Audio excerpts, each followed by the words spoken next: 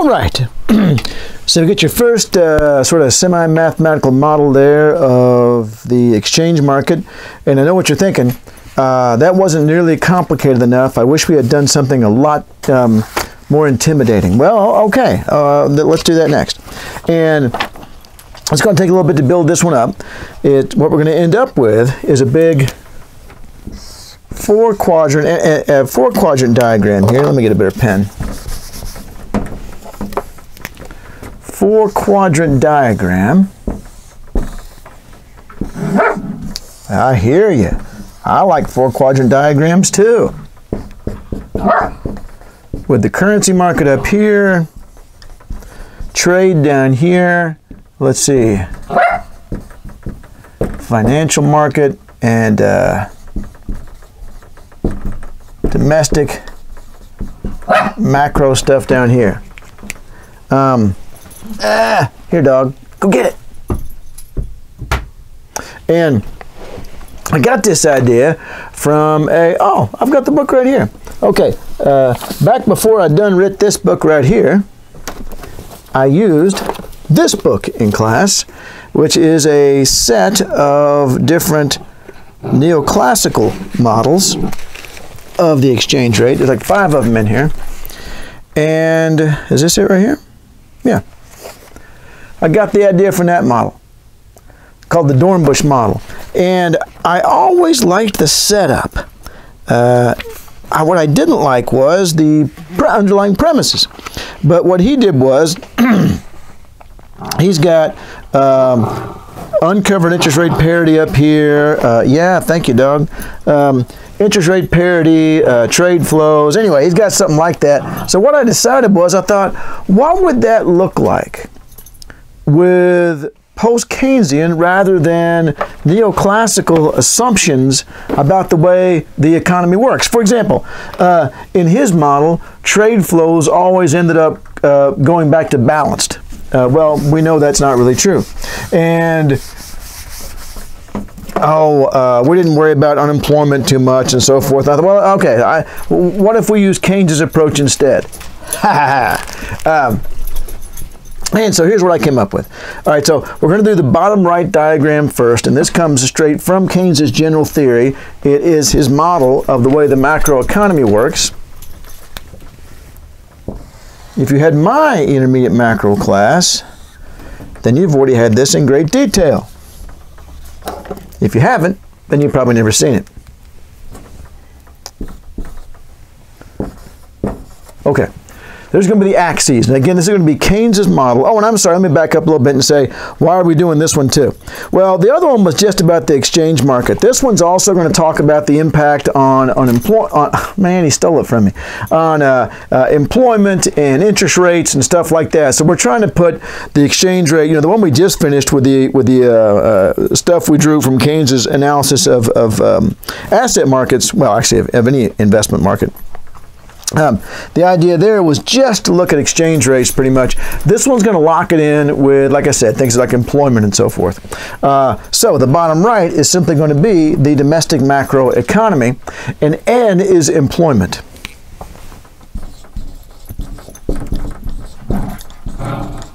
Some uh, economists use L. I use N because that's what my professor used in grad school, and also it's because what Keynes used, so I ended up using that. I don't know what Dr. Uh, Kim uses in his labor econ class. Uh, up here, we've got GDP, but notice it's nominal GDP. It's not real GDP. This is a, a break from what other economists uh, tended to do. They were like, well, but the price level is kind of irrelevant. Keynes was like, no, no, no, no. The price level is very important. Uh, firms, he's thinking that firms exist in a nominal world that firms' sales are measured in dollar values, not in number of units. They're worried about making money. They have their, they, they pay their workers in nominal units, they pay their uh, uh, contractors in nominal units, they pay their rent in nominal units, they pay their taxes in nominal units, and they keep track of their sales in nominal units. Um, if we were doing an analysis over looking at what happened to the economy over, you know, three decades, then sure, we want to take into account, uh, you know, the fact that the prices, uh, what a price meant in 1973 wasn't the same thing as what it meant in 1983. But he says we're not doing that. Uh, so it's a focus on the sort of practical side here. Anyway, it, it, won't turn out to have a whole lot uh, of difference between what you would normally do, uh, but it's an interesting uh, change that he makes. Now, let's see. We're going to have two functions on this graph, and let's start with, let's see, the book starts with the D curve first. Ooh, I can't remember if I do it as a straight line or curved. Some people do it each way. I do it curved, okay. Um, the, here's the demand function. And so this one is showing at each level of employment what total spending is in the macroeconomy. So for example, at n sub 0, total spending is py sub 0. Uh, two things. One, this right here is going to represent spending that is not related to consumption. Um, uh, okay, I'm going to tell you this. I'm going to back off of it a little bit. Uh, in fact, let, let's say this investment, consumption. All right, it's a really good first place to start that investment is driven by a number of other factors as we went over before when we did over the macro stuff, uh, whereas consumption is pretty much just driven by income. And the more people are working, the more income there is. So essentially, when we're going this way, income is rising. Therefore, when we're going this way, consumption is rising. All right. Uh, now notice it's rising at a decreasing rate for the same reasons we talked about before, before exam one, uh, that uh, the wealthier people are, the wealthier people get, the more they want to save. Um, but uh, investment is driven by a very different set of factors. And while on the one hand you might think, yeah, but wouldn't there be more investment when employment is higher? For a while, yeah, but then at the end of the expansion, actually investment starts to drop off. Um, now, I will say that Keynes did recognize in the general theory, he says, now look, there is some investment that goes up when employment goes up, and there is some consumption that really doesn't vary that much with employment because um, it's more of a consumer durables type thing. Uh, but he said, but but the easiest way to do this is to pretend that's just investment and that's just consumption. Uh, and that's probably 90% uh, accurate. This could also be any kind of spending that's not directly related to consumption. It could be exports, it could be government spending. We may cover that later, we may not. All right, so uh, here's our demand curve. Uh, and as you can see, the higher employment is, the higher the level of spending will be in the macro economy. Dang it, dog. If you want me to play, get over here. Ha! He wants me to fight him for it, which ain't happening. Yeah, yeah, yeah. Um, now, let's see. There's the demand curve. Now we need what's kind of a supply curve, but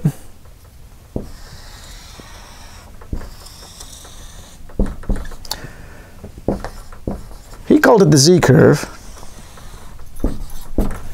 Now I'm going to tell you, I find this very interesting. Um, rather than model employment as it is normally done as a function of the wage rate, where, let's see, can you see that? Yes, barely on there. Uh, as a function of the wage rate, where you have, you know, here's the number of people who are supplying themselves to the market, uh, and here's the demand for workers, and so here's the equilibrium wage and employment. He doesn't do it that way. He says, look, we see wide fluctuations in employment without much of a change in wages at all. He said wages aren't the key factor. Wages aren't what's driving the uh, huge fluctuations in employment we see. And remember that PowerPoint I showed you earlier where it showed these huge fluctuations in unemployment over the course of the business cycle.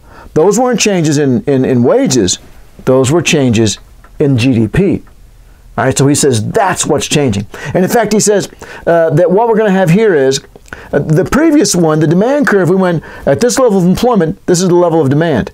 So we sort of went from horizontal to vertical. Here we're going to go vertical to horizontal. We're going to say if firms in the macro economy expect to sell PY sub zero, they will hire N sub zero workers. If firms in the macroeconomy expect to sell PY sub 1, they'll hire N sub 1 workers. So he's saying that employment varies by firms' expectation of sales. We're going to get the expectation of sales off of this axis, and then when we hit this, it will tell you how many workers they'll hire at each level of expected sales. So, are wages important? Yeah. If we were to derive the equation for the z-curve, you would find that one of the variables uh, that is creating the slope is the wage rate. So we could alter the wage rate. And in fact, if we raise the wage rate, the whole thing would shrink in and they would hire fewer workers at each level of expected sales, which makes perfect sense. Uh, if we lowered wages, it would, it would shift out and we would hire more people. But he said wages don't go changing all the time. He says we don't see wide fluctuations in employment from changes in wages. We see wide fluctuations in employment from changes in what firms expect to sell. And in fact, it changes in what they actually do sell. So he says, let's hold wages constant unless we want to screw with it, but let's allow this sucker to bounce around and let's think about how that affects employment. Now, notice the funny shape of this. Why isn't it just this?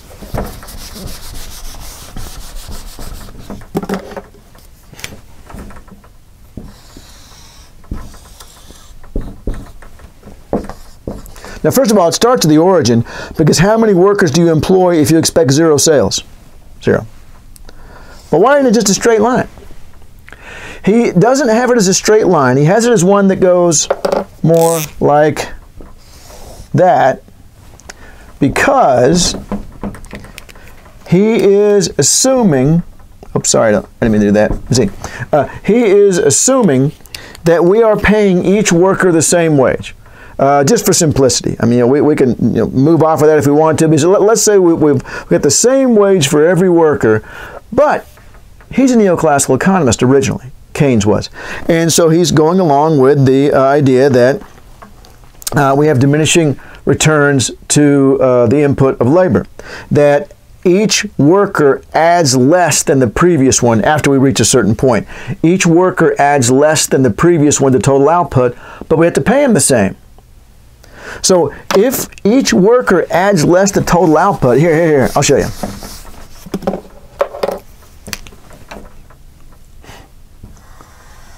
If each additional worker is adding less to total output, but we're paying them the same, it takes a bigger jump in expected sales to convince me to hire an extra worker out here than it does back here. I'm going to illustrate that for you. Because that's what you pay me to do. Uh, let's see. Let's use the time-honored technique, actually not all that time-honored, of a cell phone length. Uh, let's see. No, no, no, let's do it this way. Let's do it this way.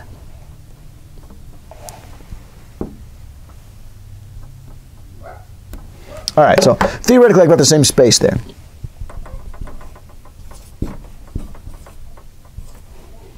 So the gap from 0 to n sub 0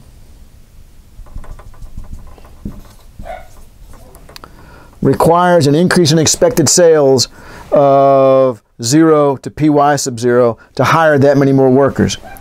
But to add that same amount over here,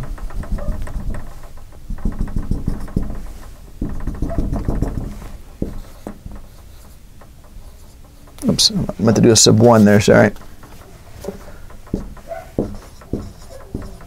He is uh, growling at the guinea pig is what he's doing right now. And hey, who hasn't done that? To get the same increase in employment out here, uh, which again, I tried to measure out to be about the same distance right there, but you can see it, it's going to work, right? Um, there needs to be a much bigger increase in expected sales uh, than there was for the one that was closer to the origin. Let me uh, text Melanie here.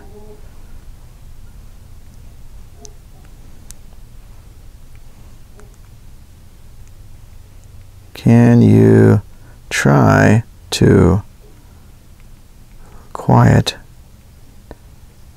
G, not G-O-D, D-O-G, question mark. Oh, he's quiet now, of course, right? Um, now he's not. Uh, it is 11:27 at night. Um, I, I'm going to try to hurry up and get this one done, and then do the rest in the morning. Uh, but I wanted to get one more done. All right. So uh, the Z curve is going to show basically employment. All right. Uh, and what Keynes is saying is that the more firms expect to sell, the more people they hire, and that, however, and th- this actually fits quite well with the real world. The lower unemployment is, the harder it is to squeeze another you know 100 workers in uh, in the real world it gets harder and harder to it's it's much easier to lower unemployment from 10% to 9% than from 4% to 3% right? and so this is just kind of saying something similar to that uh, but he's basing it on the idea that the workers are all being paid the same but these workers are less productive than these workers because as you add more workers to the same capital stock so you get less and less uh, of a percentage increase in output for each new worker all right, so let's put those two together. Great stuff.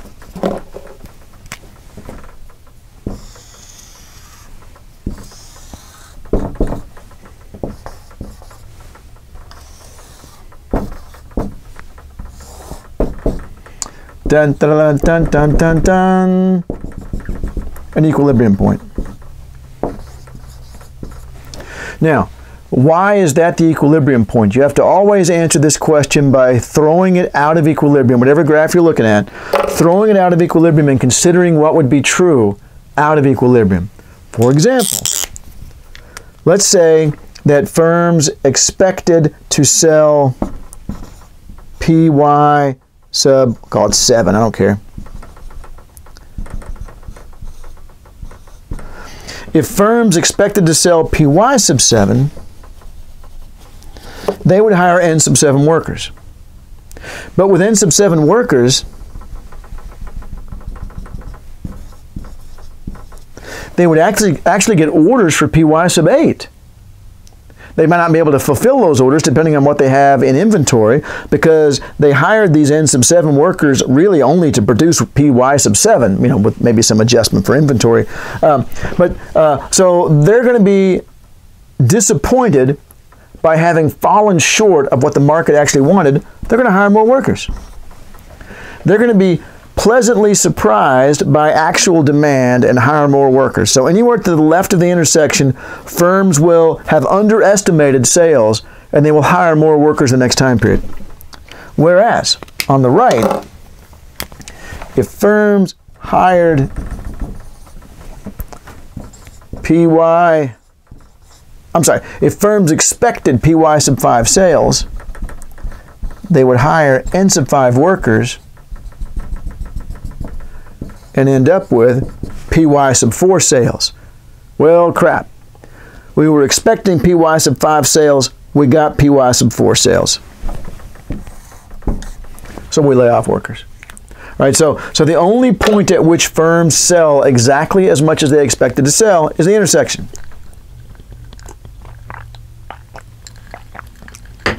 That's how that graph works. That was Keynes's view of the way the macroeconomy operates.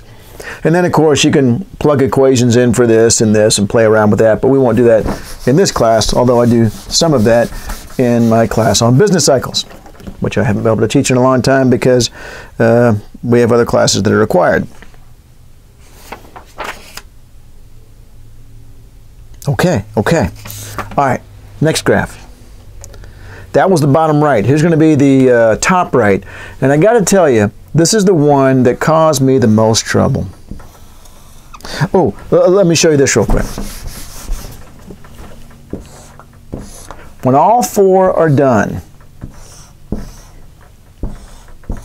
it's all four quadrants. We've got this one done so far. The ZD diagram. All right. Um, and everything, if there's an N here, there's got to be an N there. If there's a PY there, there's got to be a PY there because we're going to we're going to draw conclusions across this way and across this way. All right, we're trying to line them up to where we have the same axes uh, above each other horizontally and next to each other vertically. So here's what we're going to end up with: interest rate, interest rate, exchange rate, exchange rate. All right, so in the end, we'll end up with that. You don't need to write that down because you're going to be writing that down a lot later. But I'm just going to show you what the overall setup is going to be. So now we're going to do this one. Now we're going to do this one. Then that one, then that one. All right. So the top right one is going to be the domestic financial market. And this one gave me some trouble. Because there's so much to say about this sector, and I didn't want to say too much about it, um, I wanted to keep it simple. I will say this to start with. As employment goes up, so you would generally expect interest rates to feel some upward pressure. But here's the problem.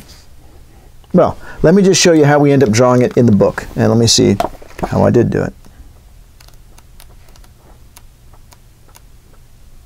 Yeah. Ooh, what I call it? For a while I was calling it MM and then just M, and I never can remember what I used in the book. MM, or Marshall Mathers. MM, okay.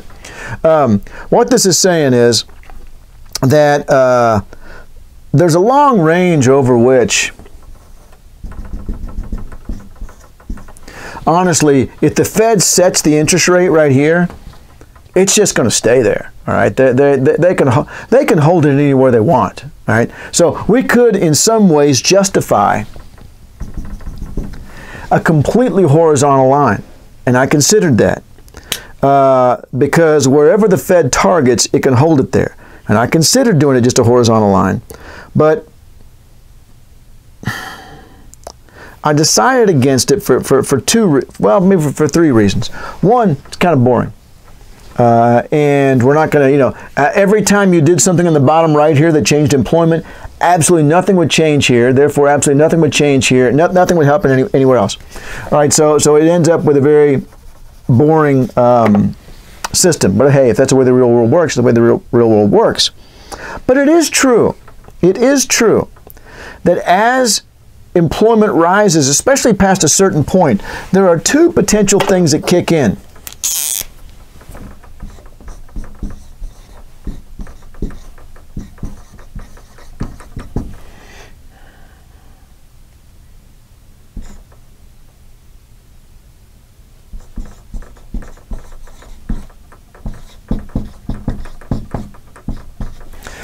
Two potential things that kick in. One, the Fed is likely to target a higher interest rate.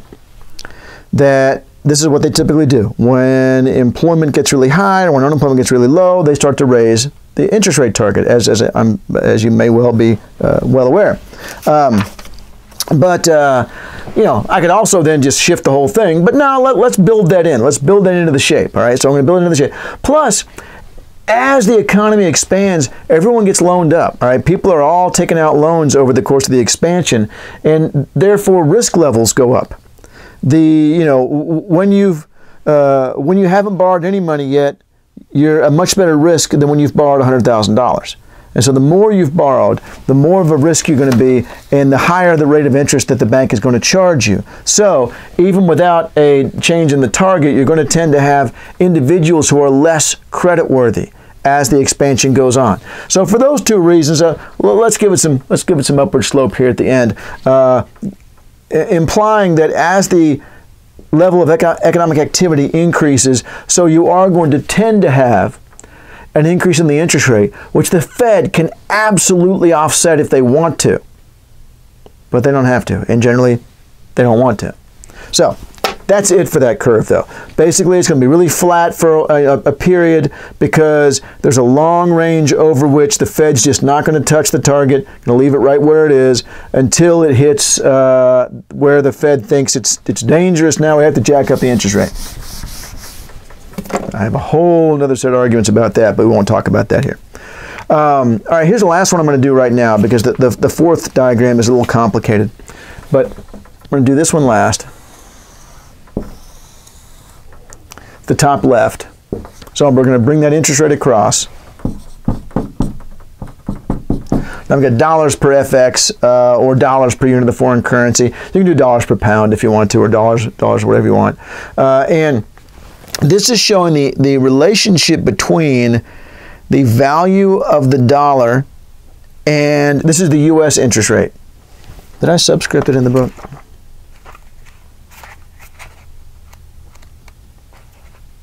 Yeah, I did. I subscripted it, but but you know, I subscripted all those. Uh, I'm not worried about that, and, and, you'll see on the diagrams I have for you later. But anyway, um, so here's the deal: if the U.S. interest rate goes up, as you already know, that makes the dollar more attractive. So therefore, the dollar would appreciate, and a dollar appreciation is that way. Fewer and fewer dollars per unit of foreign currency is a more valuable dollar. So we got a ne negatively sloped line. All right, it's as simple as that. Negatively sloped line. FXM, foreign exchange market.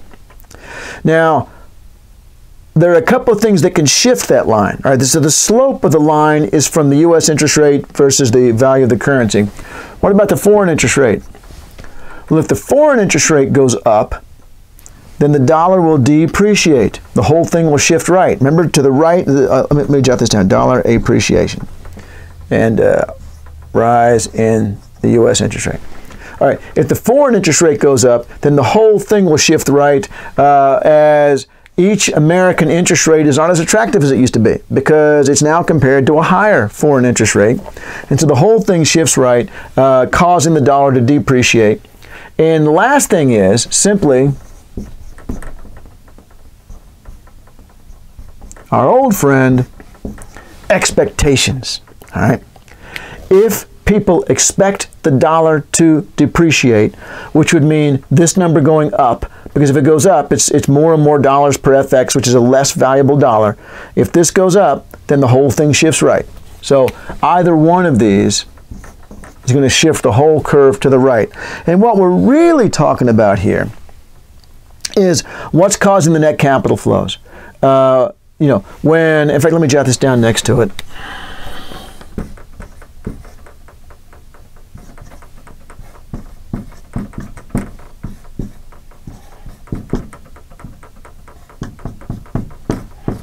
Expected. But this would an increase in U.S. capital inflows um, because people would be buying U.S. financial assets they would buying, be buying fewer of the foreign financial assets. This would cause a fall in U.S. capital inflows and a rise in capital outflows as we bought foreign financial assets that were interest bearing. And then this one here.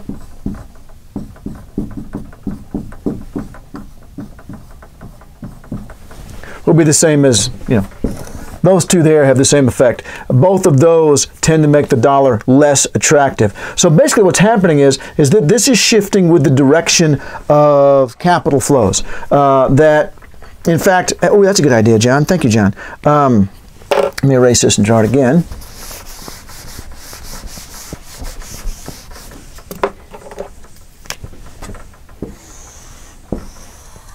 Don't tell me? Interest rate.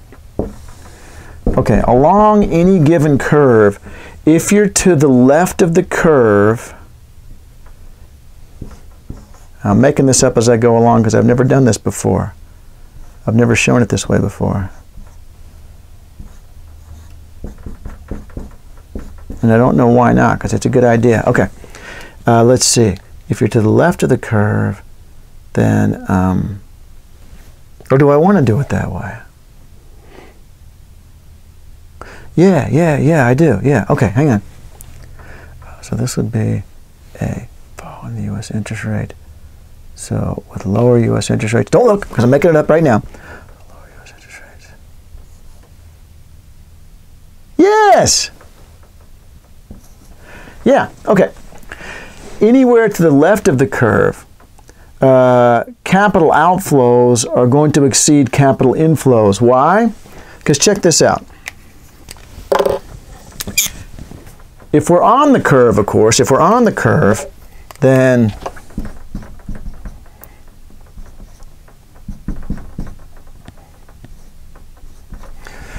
No, I don't want to tell you that way because if I have to tell you this way, then I have to show you the rest of that article. Um, I'm leaving out part of the financial market on purpose. It, it, it's uh, and it's covered in that 2019 paper I just had you guys look at. Uh, but I don't want you to have to um, worry about that. The uh, exchange rate graph we did for the last exam, it gets a lot more complicated if we do it realistically with uh, by modeling specifically how trade flows are financed, uh, and that was going to bring that into account. So it, it, uh, I'm now realizing that's why I don't ever do that. So um, if U.S. Uh, interest rates go up, then that's going to attract cap, U.S. capital inflows, and we, we already see what's going to happen. U.S. interest rates go up, we move up this line, dollar appreciates. Foreign interest rates go up, the whole thing shifts to the right, causing the dollar to depreciate. Uh, ooh, that's what I should add over here.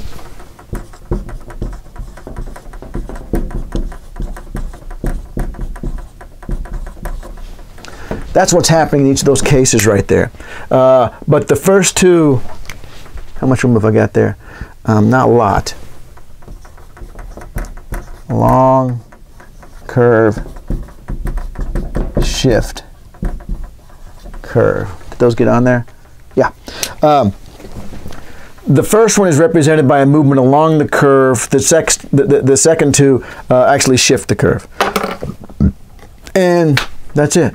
Uh, tomorrow, or for you, seconds from now, tomorrow I will do that quadrant right here, and then we'll put all four together. All right. Now I'm going to go to bed. Good night.